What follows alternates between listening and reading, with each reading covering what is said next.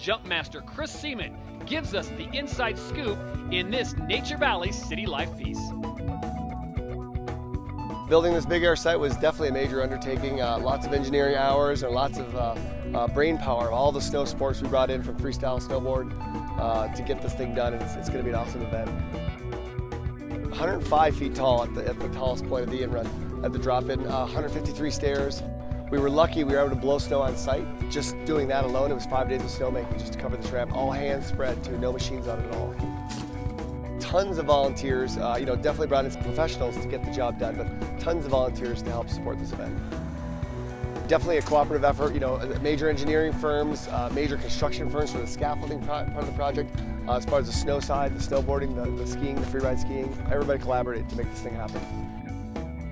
We really feel like we made a great site for these kids to perform on and we're just, we're, we're happy to see them do what they do best, you know.